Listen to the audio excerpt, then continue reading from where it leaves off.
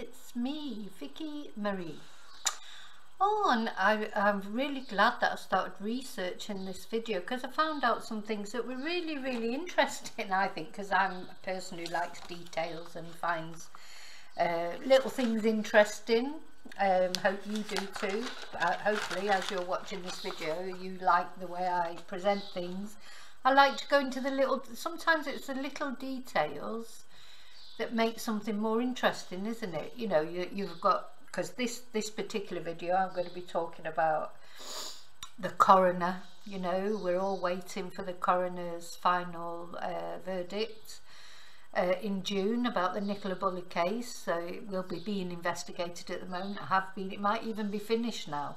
Um, and but we won't know the results of everything until June and so as I was researching this, I thought, well, what researchers or what are the po possible outcomes of this uh, coroner's inquest? Um, we know that a coroner cannot uh, do a criminal investigation, so if by then it hasn't been passed to the police, then there's no there's no evidence, if you like, or nothing that the coroner has found anyway to suggest there is a criminal investigation. And I wanted to look into then what would be uh, the other possible results. And then in in the course of my um, investigations if you like or my research I found out that the actual because the the the inquest is being undertaken by um, the senior coroner uh, the senior coroner for Lancashire and Blackburn with Darwen. And the guy who, who is in who is the, the senior coroner is James Adeley. And so then the more I sort of researched into him a bit, he's a very interesting character because uh, he was uh, an ears, nose and ENT surgeon, ears, nose and throat surgeon, I think that's right.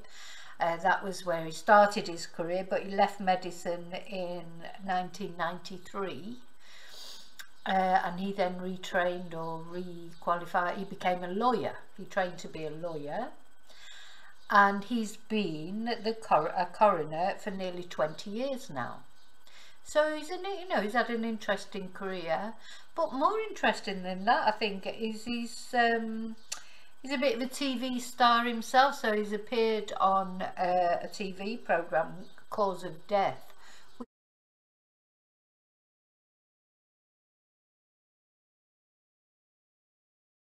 which is Channel 5, a Channel 5 programme. I don't know if you can get it on YouTube or you maybe you can get it on your catch-up or whatever.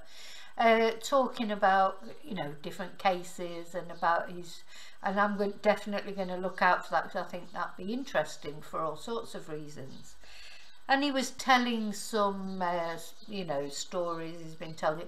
So he's not above a little bit of, um, you know, media attention himself. So it just goes to show when people are saying, oh, you know, this unhelpful speculate. I mean, he's, I'm not saying he's speculating because he's not. He's not talking about the Nicola Bulley case at all but you know he's done things on the on on the TV and he's spoken to newspapers about things you know so it's a what I'm trying to say is it's a normal thing you know even coroners go on the TV or uh, speak to the newspapers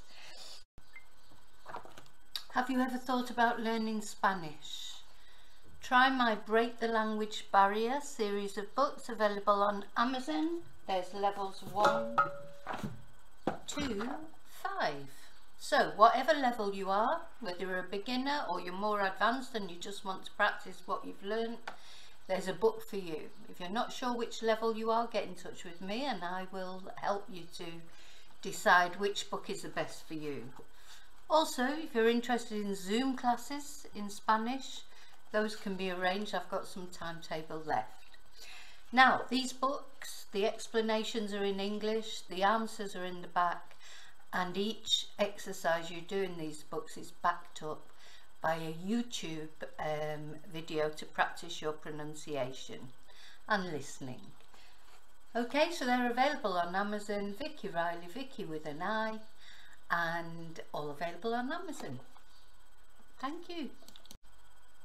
So yeah, it was interesting because he was talking about some of the cases that he's had and he said that the most difficult case was of a 52 year old woman who strangled herself when her top got caught in an oven. So that's an intriguing case, isn't it? I'd like to hear about that case and poor woman and poor family. And how do you establish that? You know, so it's quite interesting, isn't it, to see how these facts are established. Because if you, I, I presume, you know, she was found anyway, I can't go, you know, until I've actually read the story, I shouldn't, you know, I don't know how she was found or what the situation was. But it's interesting, isn't it? And because, um, you know, you think, oh, it wouldn't be very nice being a coroner because obviously you're dealing with difficult things. But he says it's good because it means he can help the families to find out what happened to their loved one. And yeah, I think that's true because, as I say many times, I think the worst thing has got to be not knowing what has happened to someone. And I've had an experience with a coroner when my ex-partner um, unfortunately deleted himself because he couldn't cope with the fact, you know, after quite a long stalking campaign where I was in fear of my life, um, which you can read about in my book, or you could. There's a video on my members on the mem. Uh, members video Thank you for watching my channel and if you are interested in knowing how I survived stalking, how I became a Spanish teacher and how I ended up living in Spain, uh, you can find it all out here in my book Confessions of a Spanish Teacher, available on Amazon. Um, yeah, all Amazon sites. Thank you. I talk about it in full. Um, very distressing obviously the whole the whole situation from start to finish and it ended tragically because he deleted himself and the coroner was in charge of that case and there was an inquest and I had to go and give evidence at the inquest it was in the local papers uh, you know so I do know what it's like to go through an inquest and it's very difficult but uh, you know, when I think back now, the, the coroner that there, who I, don't remember his name because it was a long time ago, he was so lovely. I mean, I do remember that. He was very, very respectful, very caring. Um, he made a horrible situation.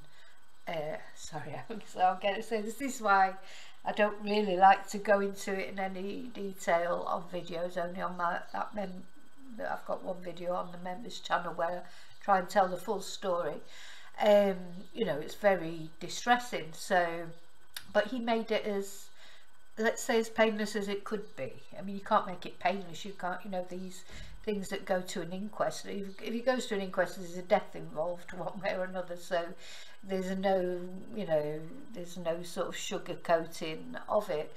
But they, in my experience with that particular coroner he did make it a lot easier for me.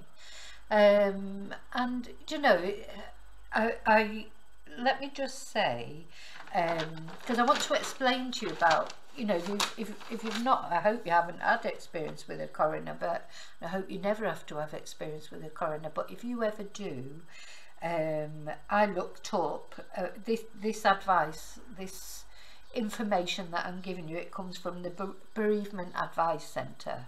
So, you know, I think that you would agree that that is a legitimate body, you know, um, anyway, just sometimes people, you know, uh, there's, anyway, no, I don't want to go into that. So, okay, so yeah, from the Bereavement Advice Centre, they were you can look that up on the internet but they say when is a, uh, an inquest needed and it's whenever death is not from natural causes so you know if there's not been a doctor visited recently or if um, there's no um, record of ill you know if the person's not suffering from a life-threatening illness um, and he, then obviously an inquest is needed to establish the cause of death so that's what the police said, wasn't it, at the time? You know, it's an unexplained death and it's going to the coroner. that is what we definitely know that is what they said and the inquest itself when it comes in June it is open to the public and it is open to journalists. And I remember the inquest I attended uh, they, well I didn't realise there were journalists there but it did end up getting in you know it was in the local paper the case was in the local paper. Also my ex-partner his children by a previous relationship they were in the court as well so sorry yeah, yeah. So it was difficult. So when I stood up to give my evidence I was also pregnant at the time um, about three months pregnant I think. So it wasn't a nice experience by any means. Uh, so they are open to the public. So when it comes to Nicola's I personally would not go inside in the because if a if a, if a family there, I mean surely you know you. I know a lot of people are thinking of going to the inquest. I I don't know if I could do that. Certainly not go inside. Maybe be around or try and get uh, you know because we're all obviously we're, we're waiting with bated breath for the result of that inquest but um,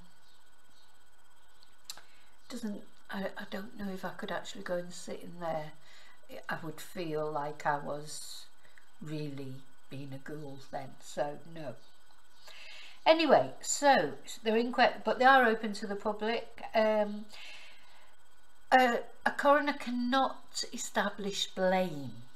So although they'll come to a conclusion of the cause of death they're not permitted to determine blame uh, and the verdict will not identify someone as having criminal or civil liability. So the inquest, you know, you won't go to the inquest and they'll say, oh, Paul did it or or even anybody did it. They can't do that. They do, will just say, uh, if, if before, you know, from the investigations, from before, I suppose if they come to a conclusion it might be criminal, they will pass it back to the police then to deal with. They don't uh, deal with the criminal liability side of things. Just establishing the fact.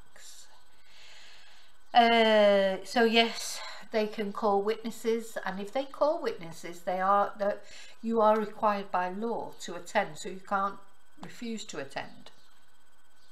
A coroner's court, you are required by law to attend if you are called. You also can, if you feel um, that somebody can give information pertinent to this case, you can um, inform the coroner and the coroner will call this person as a witness. Not on the day, you can't stand there on the day and say, oh, I call such and such at this stand. No, you have to let the coroner know beforehand whatever information you might have that makes you feel that this person might have pertinent information and should be um, challenge you know brought well it might not be uh, negative things it might be a positive input but you've got to let the coroner know beforehand so the coroner can plan it. You can't just declare that on the day. Once the day comes if you haven't declared that before it's it's not possible. So yeah if you feel a particular person might help in the inquiry you can inform the coroner of that. And in my experience, the coroner uh, was, an, you know, I suppose I, I presume he was in touch with the rest of the family as well. Uh, he was, you know, very regularly telephoning me and telling me what would was going to happen and keeping me informed and reassuring me. Um, you know, really, the more I think about it, he was such a lovely man. Uh, you know, but I suppose that's part of being a cor coroner. You've got to be caring as well because you're trying, although you've got to be detached and scientific and all those things that um, any medical professional has got to be, but you've also got to be caring and mindful of the families. So yeah, uh, relatives can ask, uh, are even allowed to ask questions of people in the coroner's court as long as it's been authorised by the coroner before. Again, you can't stand up in a coroner's court and just say, I want to question that person. It's got to have been agreed with the coroner beforehand. So there are various uh, conclusions or, or verdicts, if you like, that a coroner might come to. Natural causes, might be accident, unlawful or lawful killing. Um, so, you know, anyway, industrial disease is another possibility. So I suppose where there's been a case where somebody has died as a result of uh, some problem in the work environment. Or it could be an open verdict where um, there's insufficient evidence for any of the others. And Nicola's case is being dealt with, as I say, uh, there, there is um, statement been released by Lancashire Council saying that it's been dealt with uh, with His Majesty's senior coroner for Lancs and Blackpool with, uh, Blackburn with Darwen and the Lancashire, Lancashire Constabulary, so they say in this statement that the Lancashire Constabulary has been asked by the coroner or ordered by the coroner really not to discuss this case in social media or mainstream media. So this explains this blackout. Uh, you know, we have heard nothing, have we, apart from that one thing uh, that we heard about the police returning to the river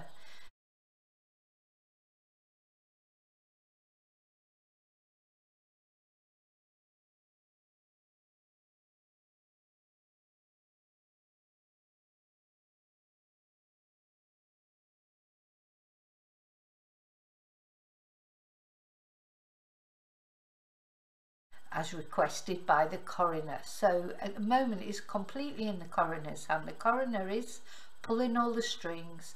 They say to the police, even the police cannot just go out and start talking about this case uh, on the news. You know, the coroner has requested that nobody discuss it. So it's probably very sensitive to the the um, the the sort of appeal of this case, if you like, or the um, the interest, the public interest in this case and how huge it is. So that'll be a reason for that, I suppose. Um, and it will be held at 10 a.m. on the 26th of June 2023. That's when the the inquest will be held at the County Hall, Fishergate, Preston, and as I say, the coroner, whether he'll be there or not, presume he will be, the coroner in charge is James Adeley. And apparently he deals with 4,000 deaths a year. I mean, imagine that. I mean, 4,000, no, no wonder there's quite a long time before, you know, how do you fit all those inquests in and does he deal with all those himself I mean obviously he must have a team you know uh, gosh 4,000 deaths a year um, you know it's an awful lot isn't it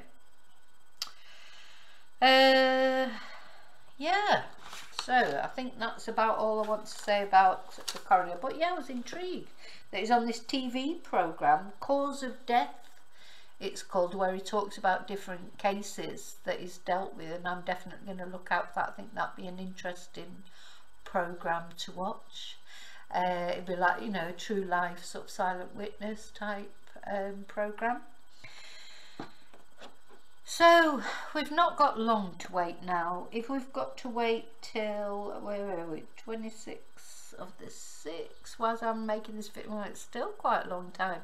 It is the 3rd of May as I'm making this video. We've got to wait till the 26th of June. Um, and then we have to just see what the resolution is. Will we get any answers?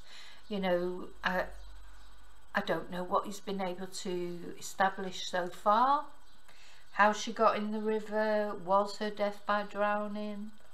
is although you know the uh, unfortunately she'd been in there for a while and so there will have been a lot of uh, decomposition but um, you know there's bones and things like that can't you know you can still uh, glean a lot from even from you know skeletons that are found years later you can still glean a lot for especially with the modern techniques that we've got now and uh, uh, I would presume the first thing you do is you establish the cause of death, then you try and establish actually how it happened. You know, I presume that's the order it goes in because, you know, I'm not a coroner, so I don't know, but that uh, that would make sense, wouldn't it? You establish the cause of death and then you look at the different possibilities and decide which one is how it happened. So with the evidence that you've got available to you. We still don't know all the evidence, etc. I don't know, you know, so I don't know if that's made public knowledge afterwards because in my particular case with the inquest that I was um, involved with it was very clear what had happened but there still had to be an inquest.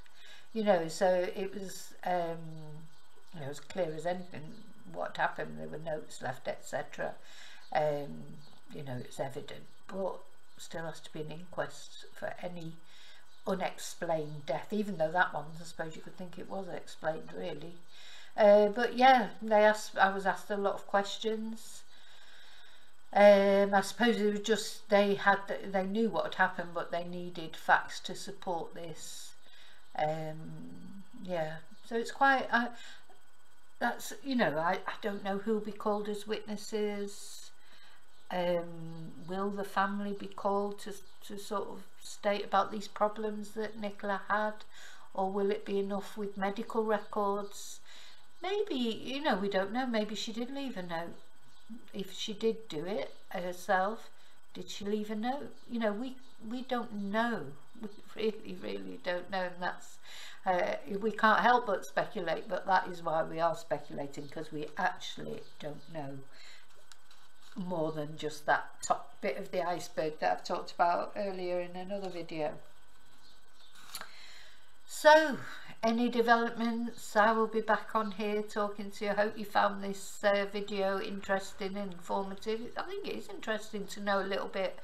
Uh, I do feel like she's in safe hands you know the guy uh, James Adeley uh, you know that's how it feels. I mean I know she's been released for burial now but that is how it felt to me that uh, the coroner didn't just treat uh, my ex-partner as just another case because although you know we had split up and what with all the stalking and all the problems etc and me being uh, uh, and being frightened for my own life I still cared about him. You know we'd been in a relationship. I didn't want anything bad to happen to him. And when it did it was you know it was those sort of things they do destroy you. They do destroy you or they can destroy you if you let them. Um, and but the coroner just was so respectful towards it. You know I always felt like he was looking after him. You know that's how it felt. He was I suppose they must go some training courses to be a coroner in the way of dealing with relatives etc he was very respectful to me. He was very respectful in the way he talked about Terry. Uh, everything was um, you know I can't fault his behaviour at all uh, okay, so I'll see you very, oh, I'll see you in the lives because I think what I'm going to, uh, um, we're doing the live stream uh, for members on Friday at 7 European time to discuss these two videos. So what I'm going to try and do is get out the video, this video about the coroner and the video that I've done about the Nicola Bulley effect and um, let me know how you feel. So what I'm thinking of doing is more shorter videos. Now I have time to do more uh, rather than trying to do great big long videos because they take so long to put together. They're really you know it, uh, it takes so long to put them together it curtails other videos that I might want to make. So what do you think? Do you think do you prefer shorter videos or longer videos? Let me know uh, so I'll see you real soon in the next video. Remember to always live and love very carefully. Oh and the other thing you might have noticed through this video sorry is I instead of doing all the housekeeping all together at the beginning I've done little bits here and there throughout it because I don't want to bore people every video. I have to you know because that's part of uh, what I do you know selling books etc and um, uh, promoting the membership channel or talking about my Spanish classes um, but instead of doing one great big long chunk every video at the beginning and boring everyone before I even start, I've decided to put these little bits in. So I hope that's not interfered with your enjoyment of the video too much. So live and love very carefully and until I see you again, may your God go with you.